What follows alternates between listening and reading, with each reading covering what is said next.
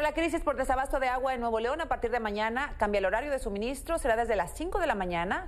No hay una hora específica del cierre de las válvulas. El gobernador Samuel García informó que se pretende garantizar por lo menos 7 horas de servicio en toda la zona metropolitana.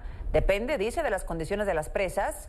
Aunque Agua y Drenaje de Monterrey advierte que en algunas zonas como García y en colonias en asentamientos irregulares continúan apoyando con pipas. Es la tercera vez que se hace una adecuación al horario. En marzo se determinó eh, pues un horario, ahí lo vemos.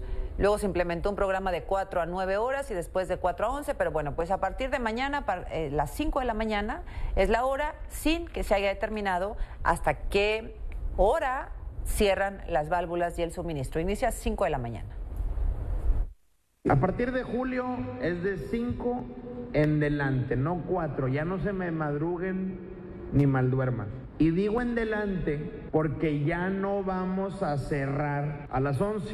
Vamos a estar metiendo modulación, válvulas, sectorización para garantizar al menos, al menos hasta las 12 del mediodía.